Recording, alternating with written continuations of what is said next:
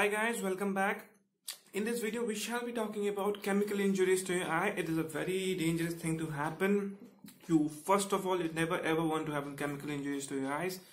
But let's say everything is bad and you had a chemical injuries to your eye. What are you supposed to do? And what are they going to do in the hospital? This will be a video about that. So chemical injuries is considered as an ocular emergency. This means this is an emergency condition. Now chemical injuries are divided into two types. It is divided into uh, alkali and acid. So alkali and acid. Now out of these two, which is more dangerous, acid or alkali? It sounds like acid is more dangerous because it seems it is more aggressive. It can do more damage. But the answer is alkali is more dangerous. I'll give you an example. Imagine I got a splash with the acid into my eye. The area that came into the contact with the acid, that area is damaged. That's all is going to happen. Whereas, if I get uh, your alkali splash onto my eyes, the area that came into my alkali surface area, that is going to be damaged. Along with this, the structures behind it or the deeper structure, this alkali can penetrate this is the problem of alkali. Alkali can penetrate your deeper uh, structures of your eye, whereas acid will not go because the area that gets corroded by an acid that will act as a physical barrier. But in alkali, even if the area has been damaged, alkali can penetrate deep inside your eye. Just to give you an example, if you have an alkali splash to your eyes, in just around 15 seconds, I repeat 15 seconds. This alkali can reach your anterior chamber in around 15 seconds. So that is the biggest problem. So alkali is more dangerous. Obviously acid is also dangerous and alkali is also more dangerous. But comparing these two which is more dangerous is your alkali. So what alkali we're talking about is ammonia or calcium hydroxide. That is your uh, lime. That is your lime uh, that is what you use to whitewash your uh, the wall before you apply your paint. Or you can see this in construction areas alkali. And that is your lime. That is the most dangerous thing that can happen if it falls to your eyes.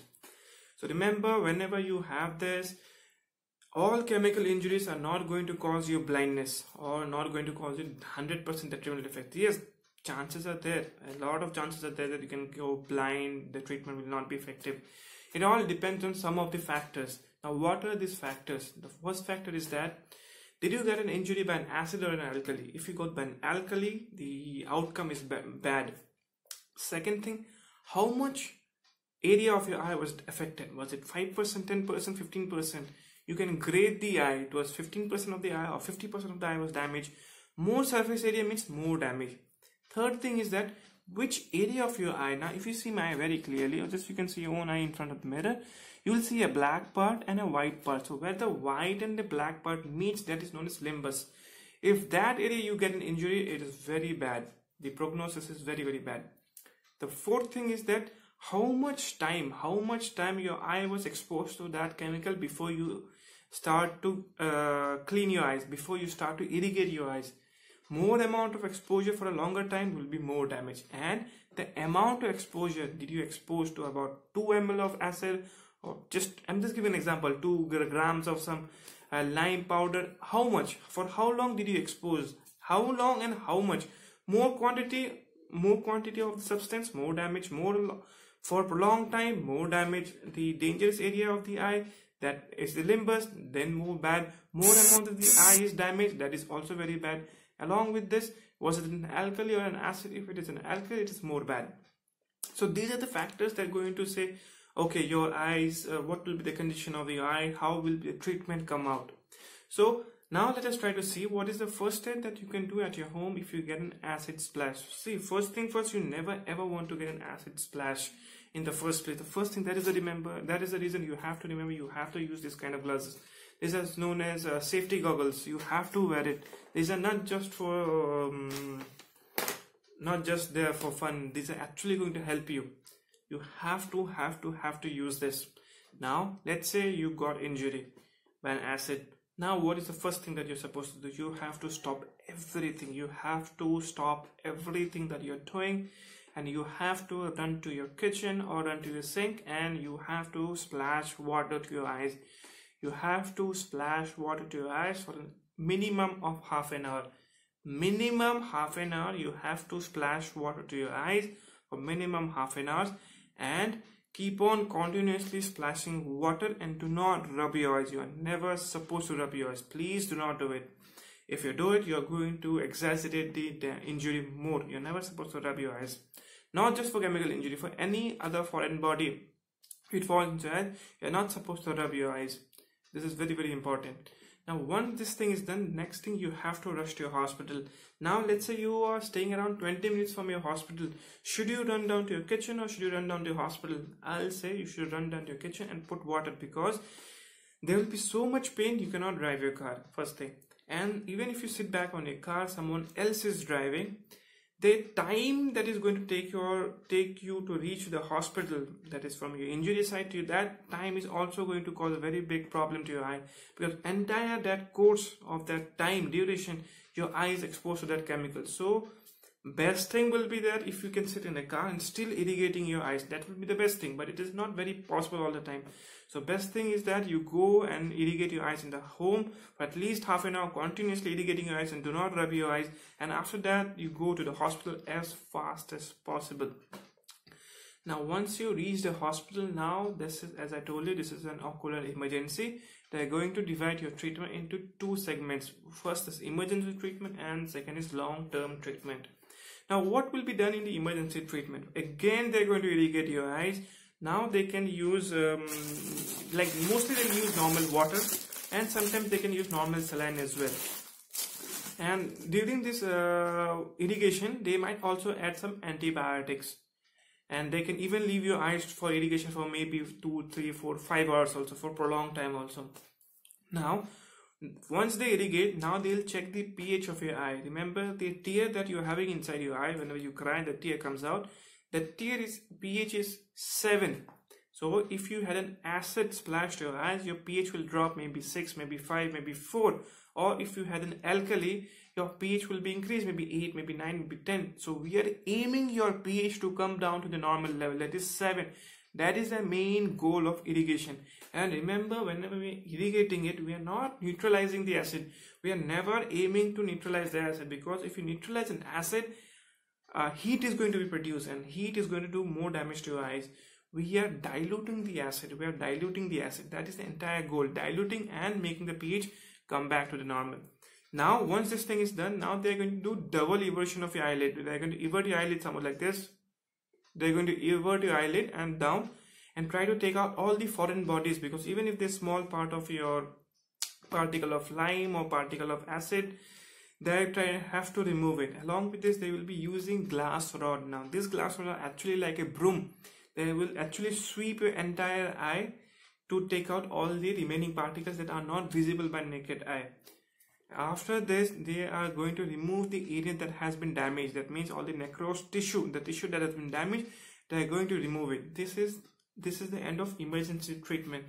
Now in long-term treatment now they will give you antibiotics. They'll give you antibiotics. Mostly this is moxifloxacin group of anti moxifloxacin they'll give you.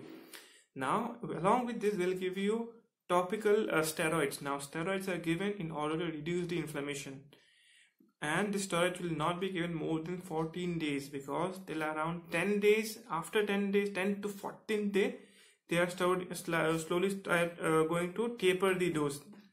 And after if you're continuing continuing after 14 days the side effect of steroids are more than the benefits. So steroids are used only for two weeks with antibiotics with anti-glaucoma drugs because you can develop glaucoma and cycloplegic drugs because you'll be having ciliary spasm and this will cause this tremendous amount of pain so they will be giving you homatropine or atropine Along with this, they'll give you doxycycline. Now, doxycycline has shown to prevent the cornea to get melted because even if you have a chemical injury, your cornea can get melt, and if the cornea gets melted, it's a huge problem. So, if you give doxycycline, this cornea melting will be stopped. Along with this, they'll can give you topical solutions of vitamin C, maybe around 10% because vitamin C will be given topically and also by oral route in order to increase the healing time. Along with this they're going to give you tear supplementation. These are the things that they are going to do in your hospital. So please remember first thing first you have to wear your safety goggles.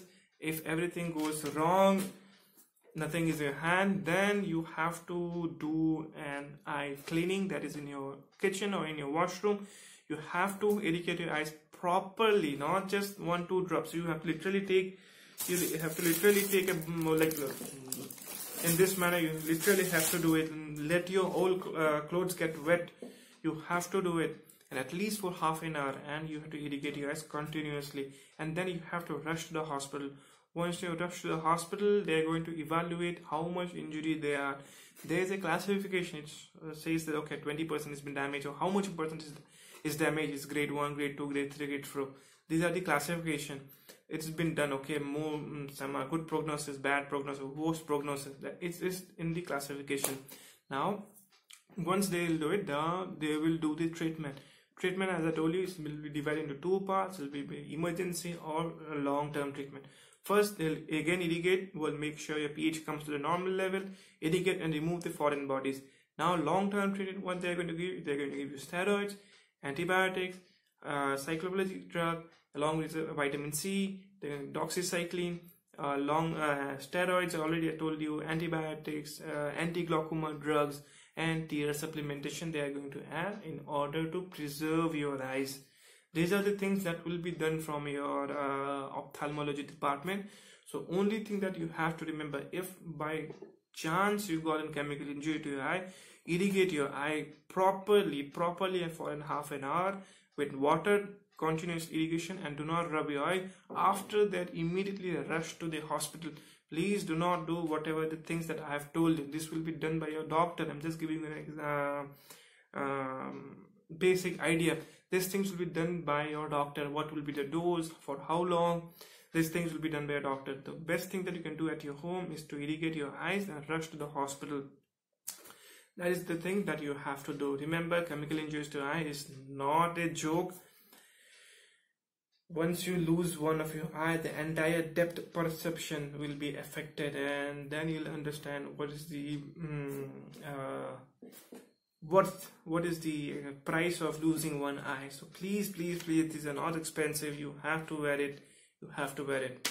That's all for now. Thank you and i'll see you in the next video